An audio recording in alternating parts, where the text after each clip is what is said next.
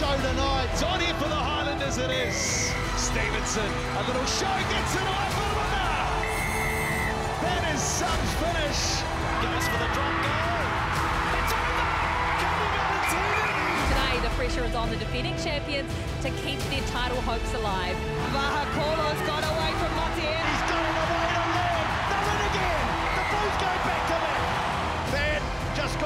for the Crusaders, but good just got a whole lot better for the Blues. Tēnā koutou katoa. Good evening. Welcome into the breakdown. Well, David Havili joins an ever-growing injury list for the Crusaders. We've got Chiefs coach Clayton McMillan joining us on the show a little bit later on and is one of our greatest ever players, Sam Whitelock, set for a return to New Zealand and to the All Blacks in 2024. We'll talk about that a little bit later on, but welcoming back the panel, Sir John Kirwan, who's very happy, of course, Mills Muliaina, also happy, uh, and Jeff Wilson. I tell you what, Not JK. happy. You're not happy? No, happy with, I'm happy with We're happy fight. he's not happy. You're, yeah. Uh, Why would I not be happy? Oh, just your It's Crusaders. just, it's great to be here. Your happy- Crusaders. I feel, I feel I'm happy for you. yeah, I'm it happy hasn't for happened myself. very often. I'm happy for myself. We were there last night. We got to experience it firsthand. It took a long, long time, a long, long time for the Blues to finally get up over the Crusaders. I tell you what, JK, you know I'm not even a Blues fan. I want a Heritage jersey. Those were cool out there last night. No, they gave me nightmares. I'm not happy about those because I remember those jerseys being all over us in the early days. To be fair, They were fantastic. Seeing Caleb Clarke in the same jersey that his father wore, it was really, really cool. Yeah, pretty cool. Just good, really good to see Paddy out there as well. I Yes. thought, you know, he's been out for a while, Mills. Not easy, and they played him for the whole 80 odd minutes, so pretty good run. Yeah, pretty awesome, eh? A hundredth game um, for the f- franchise as well. So well celebrated, and you know they got the W, which was even special. I thought it was a great round of Super Rugby because I think what we're seeing is teams staying in the fight. Highlanders stayed in the fight, gave themselves a chance. I think what you can't do is you can't go to sleep. Uh, the fact that we saw what happened, uh, the Waratahs almost running down uh, the Drua over there, which you know that's a challenge. To me, I'm looking at the game. I like what I'm seeing, and it's that that contest where if you stay in, you hang in, you can change and get momentum really quickly. The only one that sort of blew out, and then they're going good. I mean, you make 14 changes to your Yeah. side. Yeah. How good. It's still, I mean, it, it has the ability to go out and, and guys sort of not really perform. It's a little bit rusty, but the Hurricanes, for me, they just continue that hot form, JK. Yeah, exactly. I think there's a couple of sides that are just looking a little bit better than everyone else. I think the Blues are getting there, but there was 40 minute performance last night, whereas I think the Chiefs and the Hurricanes are just playing incredibly well. Should I stop them right now, now and say they're going to win the title? I can stop the Blues right now if you want me to. If you want me to say they're favourites, do you want me to do it? No. Okay, I'll, I'll, I'll, I'll wait. I'll wait. Just like the Australian team. that'd be good. Like I said last week, Yes. I'm going to wait another week. Oh, But getting back to what you said last night, I thought it was interesting. The, the try that Aumua didn't get was they were still in the game. And like you say, if you can score and then get quickly another one, I mean, Queensland, I think, got ahead of themselves, but they, you know, they nearly came back and won it. Well, the blowout performance that you're talking about, Mills, was in Palmerston North. Fantastic to see rugby taken to the regions because it was jam packed there at the Speedway. This Hurricane side in 2024, though, Mills, it is a different beast. How much credit do you have to give to Clark Laidlaw, who's coming in for the first season, and, and how much goes to Jason Holland, who's developed these players? You talk about resting 14 players. 14 players, and yet Harry Godfrey and all of these other players just step up. Pretty good, isn't it? And, and I think you're right. They're they're a happy bunch. You know, Yeah. Laidlaw's always been talked about the fact that he brings a really good environment. You know, creates a really good environment. That first game over in Perth that they won. Any year they'd go over there and they'd struggle, but they were convincing over there, and you, you, you run into sort of super round the following week. They continue sort of that run. I reckon they, they would have targeted those first couple of games to really sort of stamp their mark. Um, and now you've seen the push. I mean, even the Crusaders game. You know, that's a game that they the Crusaders possibly should have won, but the way that they finished, they just look really complete, really composed at the moment too, JK. Yeah, I mean, when you've got a full squad, and you talk about it often, Goldie, how, you know, even Auckland or even the Blues, you know, with a couple of injuries now with Sullivan, you know, you've got other guys coming in, and that's the secret. And, and to take that risk, I thought it was a bit of a mistake. I made that mistake when I was coaching. Um, after a couple of big wins, I changed everyone and, and didn't work out for us. So that means your squad is connected. And, you know, Laidlaw was always talking about being connected. You know, I think TJ's been amazing. You know, he came on late, I think, and helped win against Yeah. Crusaders, but looked great again yesterday. So, you know, I think the combination of a bit of experience um, and these young guys that don't really know anything else but just having a crack. So you've got one team who's broken and young, which is the Crusaders. You've got a team that's fit and experienced. So Brad Shields and TJ Perenara, they're the two guys you bring into your team when you make changes. That's a significant difference. The Hurricanes are good. The Rebels are not good. No. The Rebels are poor. And when you've got a guy like Filipo Daugunu, who's one of their best players, not playing because they haven't paid him Yeah. for his, what is it, his relocation costs, Yeah. the Rebels are a shambles. And they're going to be gone sooner rather than later, if you ask me, in terms of Super Rugby. You can't have a situation where one of your leading transfers is not available for off field issues like this. He was one of their best players early in the season when they showed some signs. They beat Moana Pacifica in Hamilton. But this is not a good rugby team right now. The Hurricanes did what I thought they would do because they are a good side. Hold on, sooner rather than later, do you not think the Rebels will finish the season, or are you Oh, talking no, about they'll- next they'll- year? Well, But you got to pay. You got to pay your players. Look, like, there's a fight coming for Australian rugby. That's a, a, a bigger question than I have. But but bottom line is the fact that they haven't been able to establish themselves in Melbourne as a team which can get fans, but also the fact they're bleeding money. It's disappearing. Australian rugby clearly doesn't want anything to do with them because they wouldn't have allowed this to happen. There's obviously issues there. would they not to- be on central contracts as well? Oh, they're, they're, I'm assuming they're Australian players. I just all I know is that, that, It's, that it's unwanted, really. I mean, they came into the season with financial woes anyway, and this adding adding to this with the players sort of not wanting to sort of play. It, I mean, and then you go to Super Round as well. So, I mean, the attraction there to for players or people wanting to play the game in Melbourne, uh, not looking very good considering what's going on. Oh, look, I don't want to disregard what the Hurricanes Yes. did because it was great to watch. It was a great night in Palmerston have- North. that was really, really good. Beautiful night. No wind down there. Don't Yeah. get that very often. You know, so all of a sudden they got out and played some great rugby.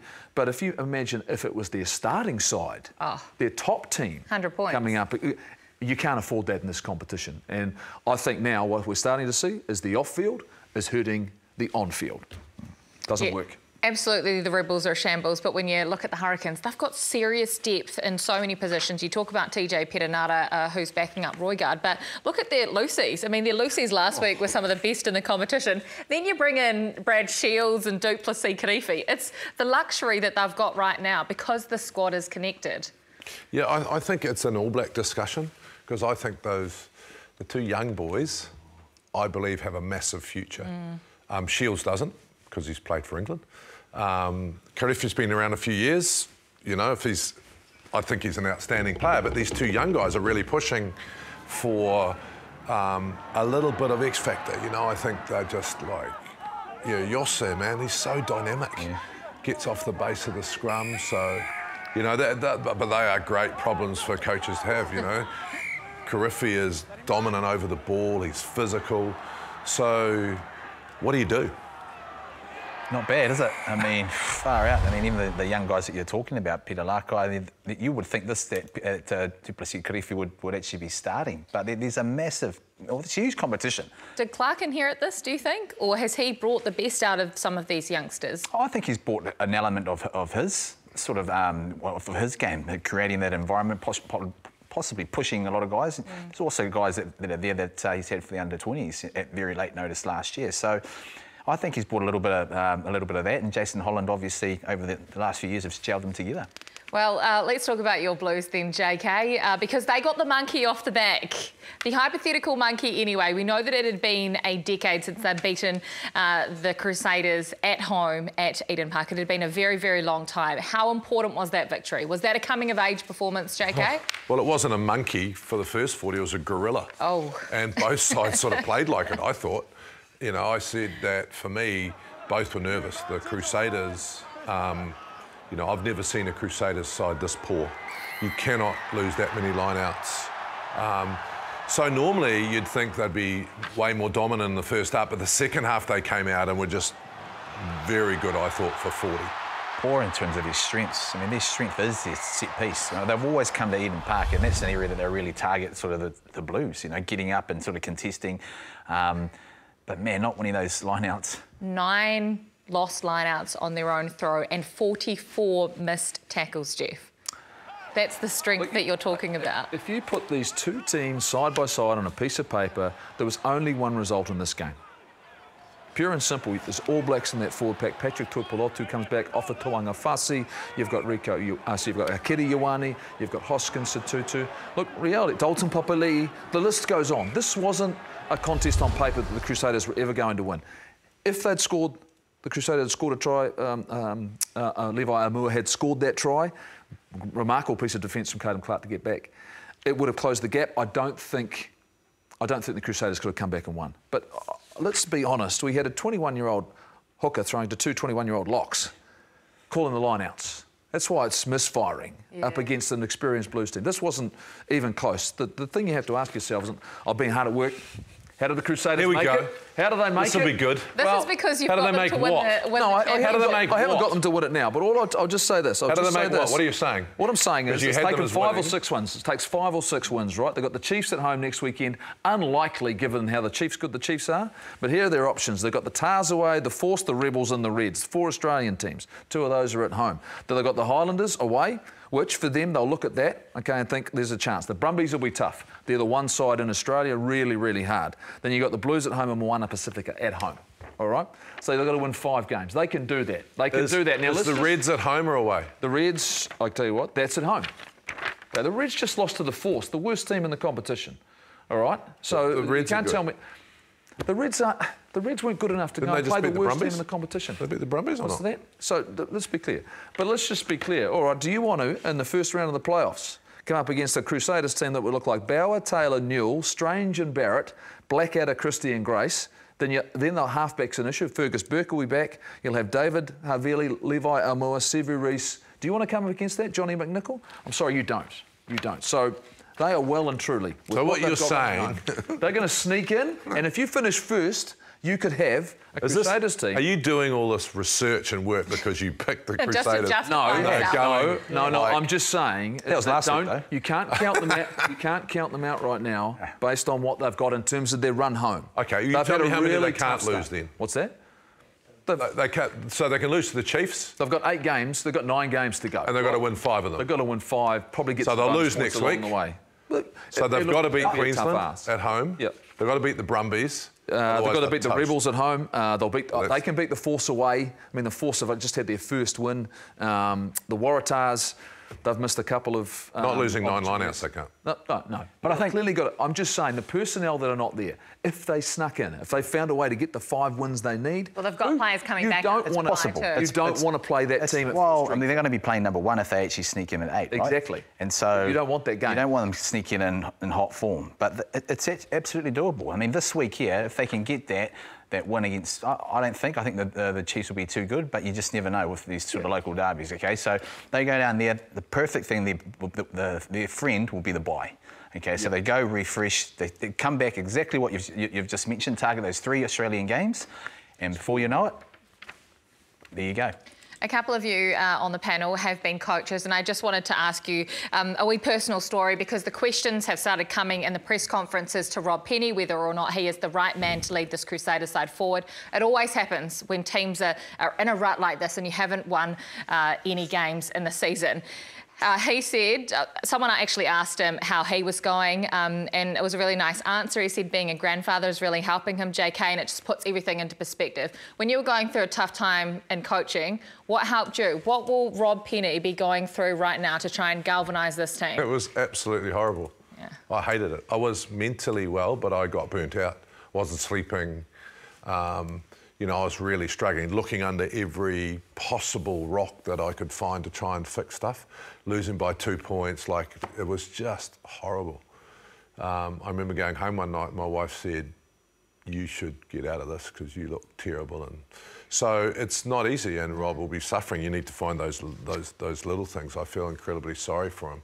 And when it rains, it pours. you know, like look at the injury list, and you're right about the Crusaders. So it's it's a tough time, and um, you've got to answer the questions. You've got to turn up and do your interviews. But it's important that you know um, we show the, the you know the man respect because he deserves it. So it's just a tough time. Hard job, AJ, if you've done it before as well. Oh, I've done it badly.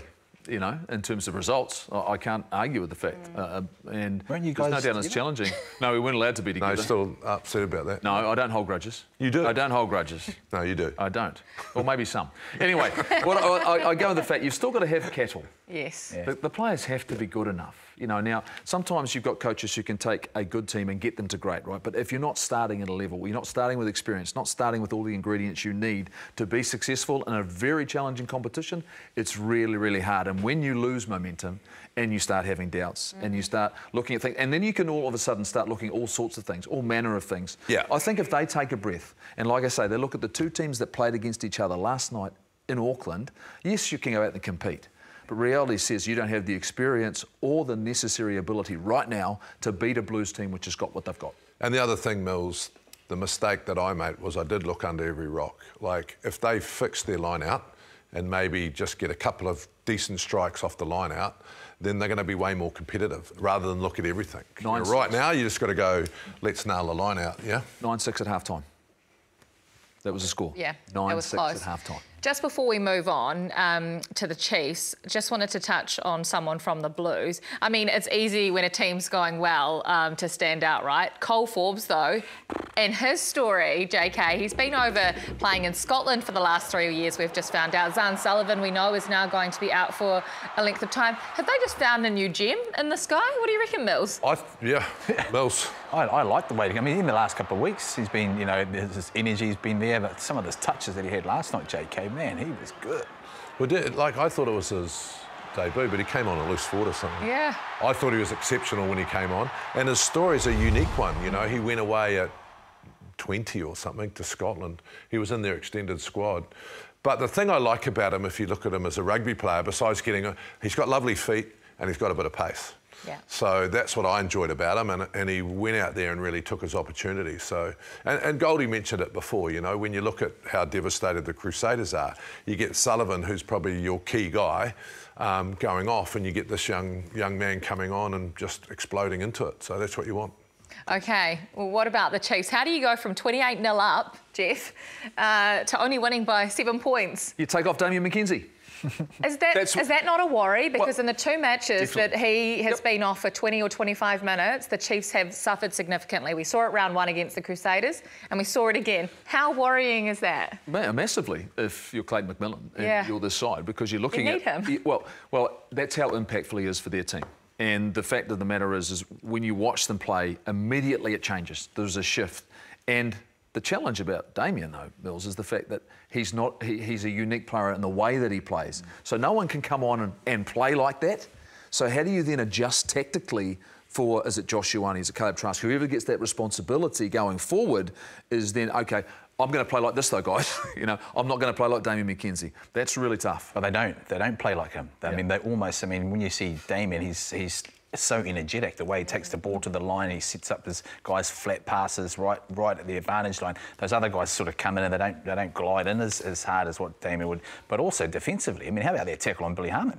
I mean, you know, he brings that energy, and so I think you know when you look at it from uh, Clayton McMillan's perspective, is how do you get those guys up to keep that? And obviously they, they had a few discipline issues as well, which the, the momentum they lost a little bit of momentum, but. I thought I thought the, the Highlanders were going to get blasted away after 28 0 and Yeah. you think, how did they come back? Never happens. we stay in the fight. They did. Oh, you stopped watching, Jeff. No, I didn't. Did they get better, or the Chiefs got worse? Well, a combination of both. Uh, the fact that the Highlanders all of a sudden started, you know, to take some of their opportunities is something they haven't done in the season. They didn't do it the week before against the Brumbies. Got in the attack zone and then all of a sudden weren't able I to think- get across the line. But th- that's a learning experience for the Highlanders as well. I think the biggest issue is that I think Damian McKenzie is changing the way that our first fives play. I've always said it, he plays like a rugby league standoff. Mm. So there's a lot more lateral parts to his game. So when you start building an attack around that and you put someone a bit more traditional on, it does throw you out of your sync because I think there's a lot of vision involved when Damian's playing because you've got to be alive around him to know what to do. So I think that um, if, if, if I was the Chiefs, you probably need to bring him off more. I can towards ask you, Mills, finals. though, is that an All Black first five? Yeah. How do the All Blacks adjust to exactly what you're You, saying? you don't want to answer that question, or Well, Well, I, mean, I, think he, he, he, he is looking like they're going to be the All Black yeah. All Black team, right? Deserves but do you, it, doesn't the, he? your question is built around do you build a game around what how Damian McKenzie plays as opposed to the yeah. traditionalists that you're talking about, JK? And that's the issue. Well, it's not an issue. I, I think it's a good thing that, that uh, Razor Robertson's going to have because there's no doubt when he plays for the Chiefs, and even last year when he was playing at the Rugby World Cup, you know, his style, it's effective. He Can I answer that? That's 300 yeses.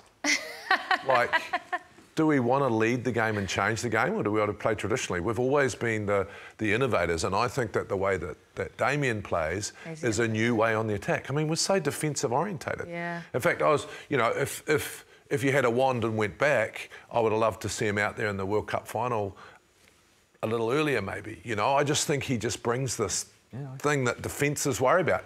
And when defence, when you when you got someone like Damian, defences slow up, and that's what you want. Yeah. So I think, I think Razor will embrace it and go, wow, let's just build something around them. Yeah, it's a really, really good point and a great discussion uh, as well. Well, someone who had a front row seat to the Damian McKenzie show in Hamilton was the Chief Tuatahi, Chief of the Day, of course, to celebrate Kids Round. Hey, um, my name's Colby Colbus and I'm the Chief of the Day today. I've been supporting the Chiefs forever. Tell us, who's your favourite player? Damian McKenzie. Damian McKenzie and Colby, what do you reckon the score's going to be here? Chiefs going to get the win, my friend? Yes, but it's going to be close. It's going to be close. Colby, let's get that ball out into the middle of the field, my friend. Away you go. Been absolutely awesome day today for Colby. Um, this has been an absolute dream come true for him. For him and the Chiefs, it means a lot. Colby can't actually play rugby, um, so to be able to be involved in something like this and something that is his biggest passion is pretty cool. McKenzie has a chance to run. Down the blind side, McKenzie. Look at a link up with Ratima. The step from Cortez, that's beautiful. It's been very good, eh? Yeah, it's been a good game so far. We started well, but um, got to stay on. Highlanders are a good side, Colby, so. I like spicy stuff. Yeah. Wow, me too have to have it on like everything, except for like cereal and no. ice cream. Does the rain interfere with you? Uh, I'll try and make it not interfere with me. The Chiefs get another win at home this season. I'm Luke. Hi, Luke. What's your name? Colby. Colby. You enjoy the day? Yeah. You want a signature? Yeah, just anywhere. You've been doing a good job today? You've been on the mic? Yes. It's good to hear you enjoyed your experience, yeah. eh? Yeah. Bit of a nervous one out there, eh? Yeah. Sorry, man. You played good. You reckon? Yeah. I wish I scored a try, eh? What an amazing day. The Chiefs have won, and this day has been very cool for me. It's been a very cool experience. This is absolutely a very proud moment for all of our family. Yeah. Um, yeah, and he looks like he's having a great day, so thank you, Chiefs. Oh, that is so cool. I'll tell you what, stories like that for young Colby, that probably made his life, Jeff. Did you ever get to do anything like that when you were younger? I was a ball boy at uh, Rugby Park in, uh, in Invercargill for Southland. It was awesome. Yeah. Great experience. I don't know how much of the game I watched. Played a lot of one-on-one down the sideline. Every sudden they're looking for a rugby ball. All day, but here oh, you go. you weren't doing your job? Oh, no, I'm not doing my job at all. I just wanted to be on the field. It was amazing, you know. That, but those were the days when you had the, I mean, you still got the eye and the tin fence where everyone's banging on that. It was sec second division Vinegar, stuff. vinegar or tomato sauce? What? What? On your chips. Oh, tomato sauce all day. Mm. I thought gravy. gravy, gravy nowadays. Gravy, gravy nowadays. It's a great place in Dunedin. That's what I went for when I was a kid. Yeah.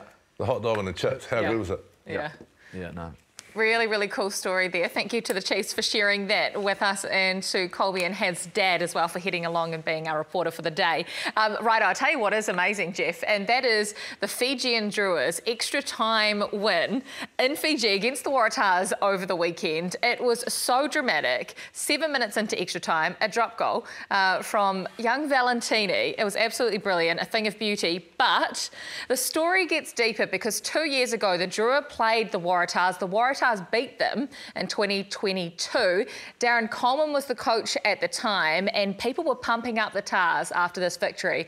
Darren just wanted to temper expectations, and he basically said, Well, hold your horses. We haven't beaten the Chicago Bulls here. It is the Fijian Drua who are fresh into Super Rugby. Well, Mick Byrne, the coach of the Drua then, who is still the coach of the Drua now, he's, he's had a say. Oh, I think, you know, um, we may not have played like the Chicago Bulls and we may not have won like the Chicago Bulls, but we won. And that's the, that's the most important thing. Two years in the making. He turns up to the press conference in a Chicago Bulls hat, JK. I love it. I love the way he wears his heart on his sleeve and he's standing up for his players in this team. Well, you should go to Goldie for grudges. No, no, he's not, holding, He he's not wearing his this. heart on his sleeve. He's holding a grudge. Yeah. And you use that. You use that any, and when you're a coach, Whatever and when you works for find you. whatever it works to get a little bit extra out of your team. The players who were involved would have remembered that, but that's gold. That's Oh. that's outstanding. The fact that he knows exactly. He, it wasn't convincing in the end. He would have liked to have been easier. And I wonder the hat sitting there going, "Oh dear, this, Am this I might gonna not get used hat today." today? I'll just put, someone just put that one away. Will you put it under there? You know. Was that was that drop kick a toe hack? Because he was Oh, so straight. you would and know. It was yeah, I've never dropped kicked a good in my life, but it looked like fantastic. Well, Mills, let's bring in your moments then, because your moments this week are Oh. all about the perfect droppies. So we're going to show that, JK, just to see Oh. if it is uh, a toe toe hack from, um, you know, the, the Drua and Valetini. And how good. I mean, a penalty advantage. And look at the scenes. And that is the winner. And so that moves on to my moments, obviously, here. Dan Carter, dubbed the thriller in the chiller down in Christchurch, winning that game. How about this guy here? Doesn't go off his left foot, he goes off his right, wins the Rugby World Cup. Jonny Wilkinson. Zinzan Brooke, he gets a shot. Hey, look, number 17 down there, because I'm told by Marshy that uh, he was overcalled. There's John James, uh, Jon Preston. Yeah. Jon Preston, yeah. And Mehrts, and we've seen this plenty of times as well. Marshy's involved there. The there first- he is. How good. The first pass from Marshy was better than the second pass. Uh, that Why, was why did high. he why did he say hello to the crowd after that? Was there something? Was there a grudge in there somewhere? Is that? Oh, it's after- Mehrts. No one holds a grudge like Andrew Mehrtens. no. Oh, and because he's got such a great memory, every, he can remember everything and anyone who's ever wronged him in his entire life. If you've done it, you know. The moment you see him, he will absolutely remind you of it. Uh, the the Zinzan Brooke one's a great story, you know, because you know. Marshy turns around and sees the two options, and he thought, "I better give it to Zinny." I better- you know, like, this is a better give it to him first. They never looked like missing, to be fair. Um, my question mark is that what was he doing there in the first place? Waiting for the drop kick. Well, he used to practice a lot. Did he? Back in the pocket. Well, what about uh, one that you may be missing, Mills? And that's Matt Dunning, uh, the Oh, former. this. is crazy, right, This is Jeff? when you think right? about it, 28 metres out, he absolutely nailed it. And then he got nailed by his team because he kept his team out of the playoffs because they needed to win by two tries. Yeah. I, I remember watching this at the time, and we are uh, going, seriously, this is to try and make the playoffs. Beautifully struck. It was nice, Perfect for a. Oh, oh, for a, Was he not trying to get it? Was he not trying to? Apparently, he wasn't. No, I mean that time of the game, brain explosion. You know, I mean, if you're not trying to get it, seriously. Why, why are you not I- I- kicking I- it? Yeah, I- I'm surprised you. Could, oh, no, wave it off. Don't want it. Don't want it. It was an honest mistake. But yeah. And the best part about it is his, his teammates are absolutely livid with yeah. him. you can see them. Can't take it away from them. He's, a, he's got a Super Rugby drop goal. He does. And it was uh, it was pretty perfect as well. Thank you for your moments, uh, Millsy. Uh, time for a quick break, but we will be back right after this. Clayton McMillan is joining us on the show, and we're going to chat about Sam Whitelock's potential return.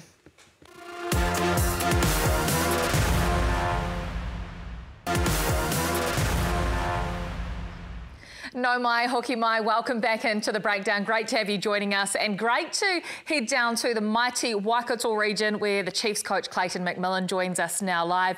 Uh, some people would just say a win's a win, Clayton, but your team obviously has very high standards. You were clearly not too happy with the performance uh, in Hamilton yesterday, but on a positive note, a couple of your returning players, firstly Josh Lord last week and then Emoni Narawa this week, both of them have been out with injuries. Can you talk to us a little bit about these young stars?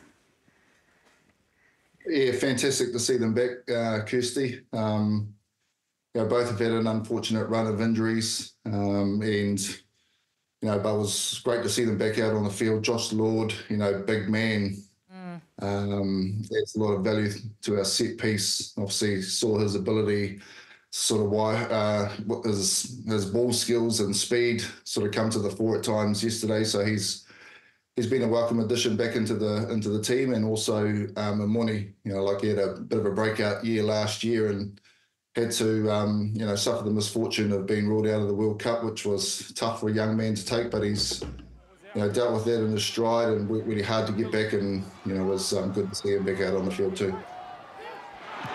Clayton, um, I know he's taken a few dings already this year, Damian, but I just love the way he plays it at uh, first five. Do you just give him a free rein or do you have to rope him in a bit? Oh, it's a bit of a balance of both. I think JK. I think he's you know matured a lot, and he's he understands that that sort of you know that um, that renegade in his game that you know used to be pretty pretty prevalent um, in his in his younger years. Uh, kind of needs to be tempered somewhat, but but only to not to an extent that we actually you know take away from him what he's really good at, and that's playing on instinct and backing his skills. Okay, I want to ask about sort of the young guys. I know you've got guys coming back and really exciting, but some of these guys, you know, Yaronas, also Poihipi in particular, he's moved around a little bit. And I think the average age is around about 23 or 24. But guys like that for you, I mean, they must excite you given, you know, the, the load they've been under as well. Yeah, absolutely. Mills like something that we've um, had a deliberate strategy around um, is to, to build, you know, the cohesion in our team. So it's, it's still a, a, an extremely young team um, in comparison to a lot of others. But we've played a lot of rugby together now, and you know, that, I guess that's um, part of the reason why we uh, um, have been enjoying some success. Um, sometimes we find a way to win a game we probably don't deserve to, and and often it's been the unheralded guys like you know Daniel Rona, Rameka Poihipi, um, Kaylum Boshier, guys that perhaps um, have set you know a little bit in the shadows of some of our more uh, well recognised players, but um, they're the real glue, and you know they're going to be the future of the Chiefs. Clayton, I was stoked my boys in the last 20 minutes kept you honest. The fact that it kept you on your toes. But I want to, and I talked a little bit earlier on the show around the margins for error and the fact, but also the ability of teams to score points and score quickly. Now, in the old days, we used to be able to shut down a game. You get two tries up, and all of a sudden you're thinking to yourself, play a bit of territory, we'll be able to keep control of the scoreboard. Do you think it's different now? Do you think, I suppose you have to be more aware? Are you ever comfortable with a 14, 16, 20 point lead? Or does the nature of the game now mean that it can change and change very quickly? Yeah, I think the dynamics change a little bit late. You know, a team like the Highlanders, um, who have shown, you know, vast improvement, um, have demonstrated an ability to, you know, score tries, and they've got some some real factor players here and perhaps when the game looks like it's a little bit out of reach, then they they start to chance their arm a little bit more. They start offloading in contact. Um, they start taking quick throw-ins, and, and those are the sorts of things that make them make them dangerous, but perhaps don't necessarily have the, the courage to do early on in the game when it's more about sort of percentages. And for us, you know, part of our challenge, um, and has been all year, and potentially the biggest part of my frustration on the weekend was that we, we put ourselves in commanding positions to to really put foot on the throat and kick away in games. But um, you know, we we start to get a little bit um, you know enthralled in the sexy side of the game instead of just you know doing the stuff that sort of looks really pretty, but is essentially just the basics done really well. Clayton, you've uh, got a young lock in Josh Lord. You've uh, lost someone like Retallick. News this week is, uh, sorry, you lost Retallick. The news this week is that Whitelock's coming back into that all black environment. You think that's a, a positive or a bit of a hindrance for the young locks? Um, look, I think the first thing is that just what an incredible player, and you know he's left a, a massive legacy here in New Zealand and, and for the Crusaders. And um, and when you look at the, the young locks around the around the country, we've certainly got some outstanding talent coming through. And I guess the question really is, do we we, we chuck them in the hot seat and they they learn by being out in the middle? Um, but can that can that learning be accelerated by having somebody of his standing sort of walking alongside them? I think there's a real balancing act there, and um, it'll be fascinating to see how that all unfolds. Clayton, we appreciate your time on the program. Thank you for giving up your Sunday evening for us and all the best heading down to Christchurch on Friday night. No worries, guys. It's my pleasure. Oh, absolutely brilliant. Um, let's pick up on what Clayton McMillan just said there. With the potential news, it is just reports at the moment that 153 Test All Black, double Rugby World Cup winner, you cannot forget uh, the legacy of this man. Sam Whitelock has been playing his rugby over in France at Pau with uh, his younger brother. We thought he was done with New Zealand rugby. We thought he was done with the All Blacks, but it turns out a conversation has been had between him and the new coach, Scott Robertson. And maybe he's not quite done with international rugby yet. Clayton just said it's a fine balancing act. Where does everyone sit with this news? Would you be happy to welcome back this legend into the environment, or do we not actually need him, JK? Oh, I'm in favour. I think it's a, I think it's a positive. I'm in favour of Beauden and Whitelock coming back. Will they start? I don't think so. But do they come off the bench? Do they get through to the next World Cup? I hope so.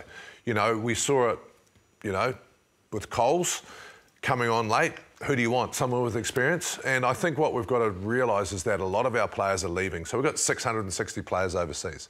So to lose that experience for the All Blacks, we've got to win in between World Cups as well as the next World Cup. So, you know, I'm in favour. Can I just come back to something you said there? You think that Sam Whitelock could make the next Rugby World Cup, Australia 2027, he'd be 40.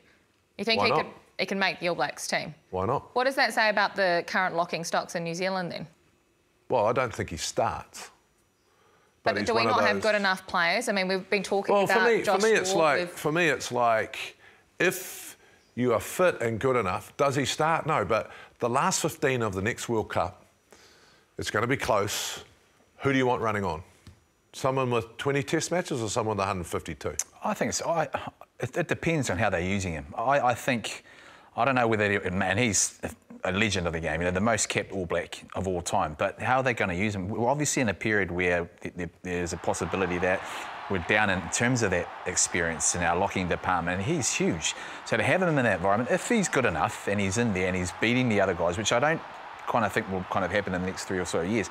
His, his, his immediate job, obviously, is to try and get these guys up to speed because the IP that he's got and the experience is huge. That's world class. And so if they're bringing him back um, pu- purely for that, and if he's good enough to play above these other young guys, then you play him.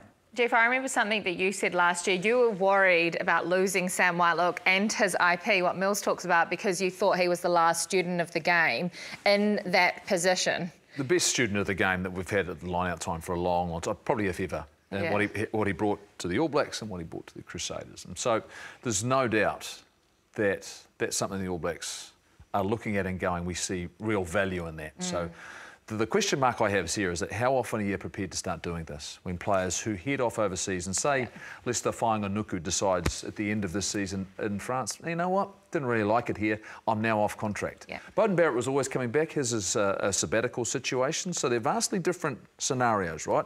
Um, Sam Whitelock's got, I think, a, another option, another year. That was part of this uh, at Pau. He goes, I want to come back and play. Now, it's whether or not you're comfortable players walking mm. straight back into the All Blacks. Mm. Now, I know you are. At I'm not- 152 Test, I totally am. yeah, I Leicester, that. no. Yeah, well, I, I- I just understand it. So this, these are doors that I know Scott Robertson has talked about in terms of maybe opening these and looking at players. I know, I think he went through Japan and had a chat to Richie Mo'unga. Okay, so he's looking and keeping in touch with some of these players to see maybe whether or not their circumstances are changing.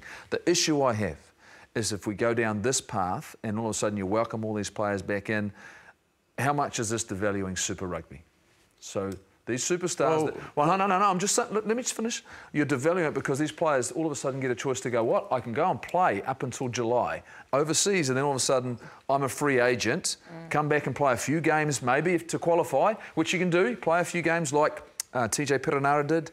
Uh, Damian McKenzie did. They come and played a few games of club rugby, provincial rugby. They're available for the All Blacks again. Are we comfortable with players doing that? Just deciding halfway through the year, I'm coming back. Not every player I'm not comfortable with, but if I can just go back to something about what, what you said about devaluing Super Rugby. If you have players resting from their works, if you have players going away on sabbaticals, you're not that worried about Super Rugby. All you're worried about is the All Blacks, and that has been the case. We know that. It's the high performance pool for the All Blacks. Until we change that, and I think it needs to be changed, you know, we need to extend Super Rugby. We need to have a competition where they can keep the television rights, the famous Heineken Cup that I keep talking about. And I know that you've been talking about changing the, the pay system. Until we let the Super Rugby teams stand on their own, they're going to be high performers for the All Blacks. And I don't like it, but it's been working for us. I'm actually, in terms of the Sam Whitelock thing, Mills, I I look at this and go, there's a really tough year for Scott Robertson to start. Yeah. Really challenging season. A couple of test matches in South Africa. There's an end of year tour which involves playing Ireland and England and France, plus another And two. Italy. And, and Italy, and Italy, and Japan. So there's this, all of these things, you know. Um, England are coming here. They were semi-finals in Rugby World Cup. So you add all these things up. Would he be really valuable right now for this season? I think Just so. for a year. Uh, and so for us, for, now that's where I can feel really comfortable. I don't think Rugby World Cup at 40. that's a bit beyond. I I think that's a bit beyond my imagination. Maybe in your imagination, but not in my imagination. But in terms of what he could offer for a season to play maybe six or seven Test matches, if he's on top of his game, I think really valuable. Case by case, I think, and, and it, he- he's a perfect case, right? If you're going to bring him back and he's good enough to be in that environment to get, he's, you've got to also remember we've lost Retallick. Well, why don't you just bring Brodie Retallick back then? Oh, he's not the most capped All ever, and and possibly younger. yeah, yeah. Yeah, but look, I, I think every story is different, Kirst. You know, I think that um, Brodie's apparently very happy in Japan and wants to finish his career there. You know, I think Whitelock wanted to go and play with his brother. I mean, playing in France 37 games a year, getting the, you know, kicked out of you every week um, is not Japan, right? Japan, we all know, is a little bit easier. So We shouldn't forget last year how good he was Oh. as a rugby world coming off the bench. He was outstanding, Yeah. and so to, he actually found some of his best form for against years. Ireland? So I'm not, I'm not doubting if he was in that, in that sort of health and condition and form. If he comes back from France like that, you know, You'd be okay with it for a year. I'd be okay for it for a year, but I don't want this to become the norm. Mm. I don't. Mm. Yeah, but, but are you Go, but- saying you don't want it to be the norm, or do you, is it the devaluing of the Super Rugby? If we Because for played our Super Rugby players properly, we wouldn't have this problem. Okay, but if it's a 150 test match like Whitelock, so I don't think you can make the, the, the comparison to Leicester because he left early. Well, how many tests has he had? And, 10. I, and, and I accept that. so let's put 80 test matches on it and you can come back when you want, or 100. It's only four people. Isn't it? Mills, you can come back. no way, man. You're about the same age way. right now, aren't you? we could keep having this conversation over and over, couldn't we? Um, but it is a really great debate to have. Time for trivia now. So sit back, you guys, uh, because you know you're not involved in it anymore because you squabble too much and you argue about the And we were question. wrong. and you're always wrong. Okay, so your trivia question for you at home, for you sitting uh, on the couch, this is your trivia question this week. Now, Edward Hughes is the oldest ever All Black, but who is the second oldest? Who is the second oldest? We've got a list for you right after this. Do not go anywhere. There is still plenty more to come on the breakdown. Throws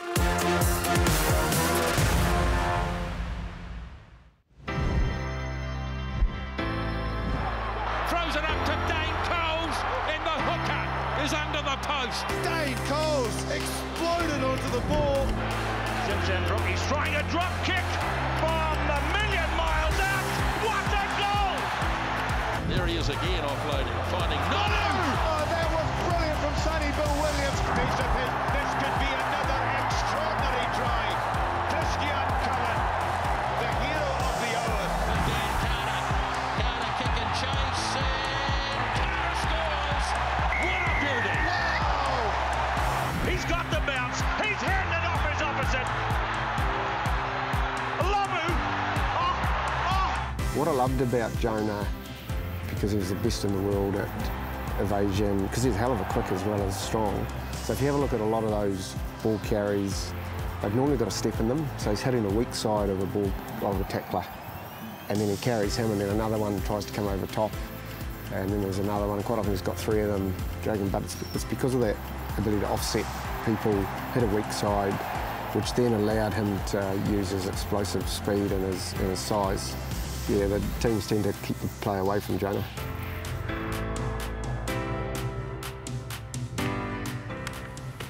That is going to be a fantastic series, and we're going to get the guys' uh, thoughts on their All Black game changes shortly. But first, the trivia question. So, we've just asked you uh, who is the second oldest All Black? Of course, Ned Hughes is the oldest. So, the second oldest.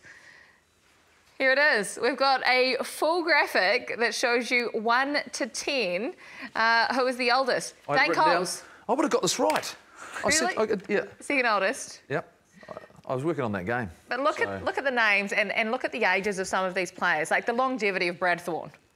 Yeah. I mean, for him to be able to play at that level, uh, at that age, Kevin Mealamu is another one as well, as an he, Mills? Are we sure Frank Bunce was 35 and 305?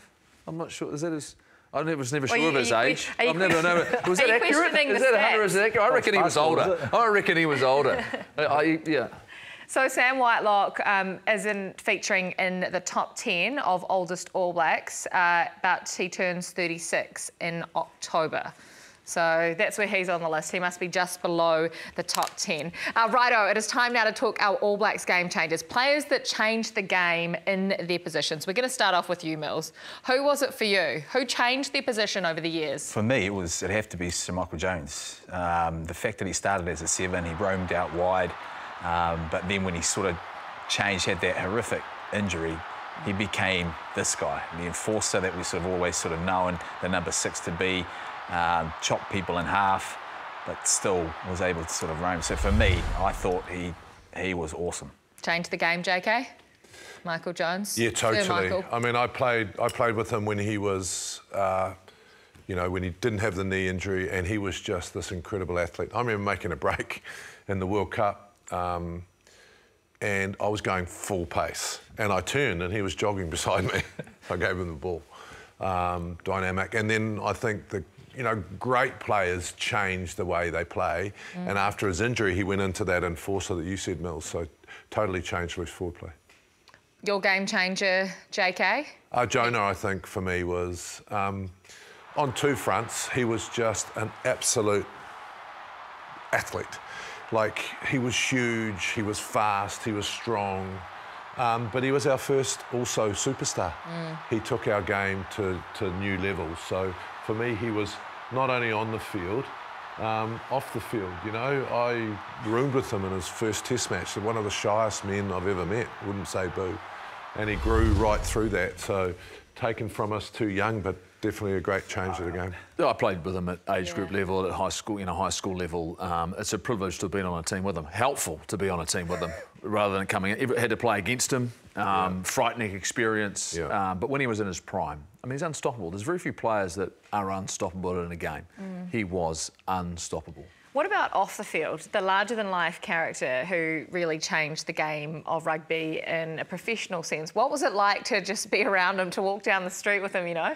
Oh, I, I- I felt for Jonah because me it came really quickly, and he was a young man.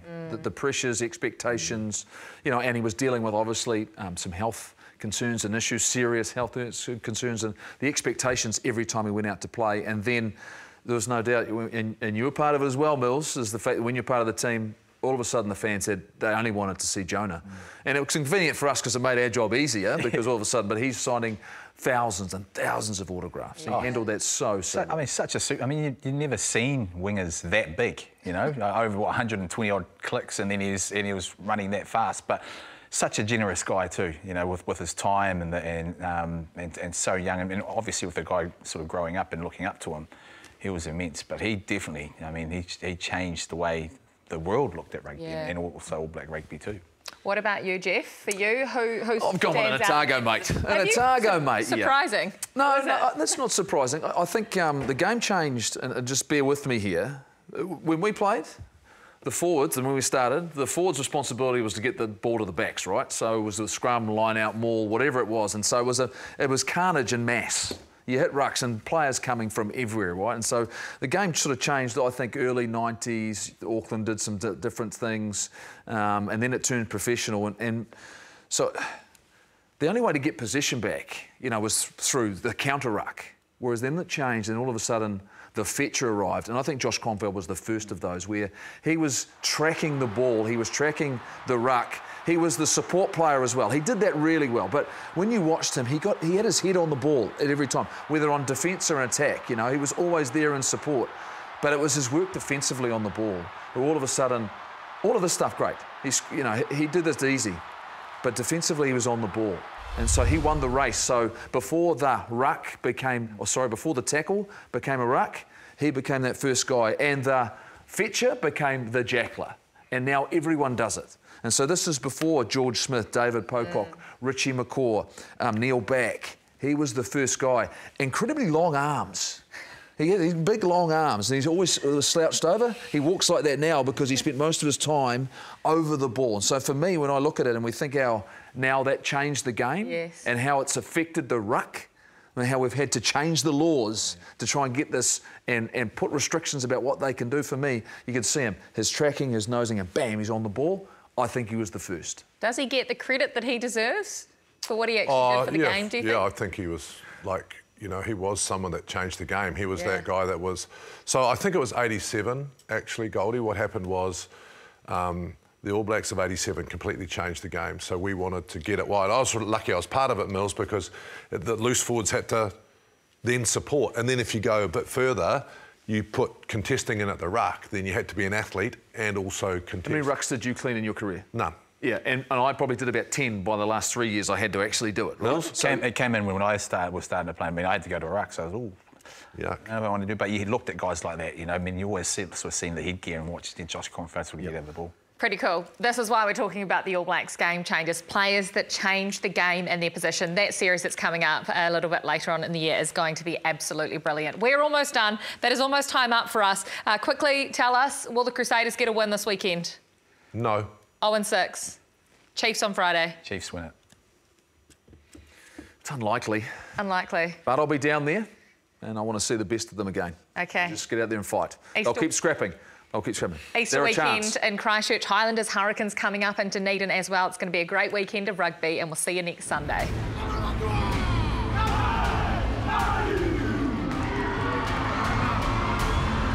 And that is it. Golden point, 10 minutes of play. We have got a grandstand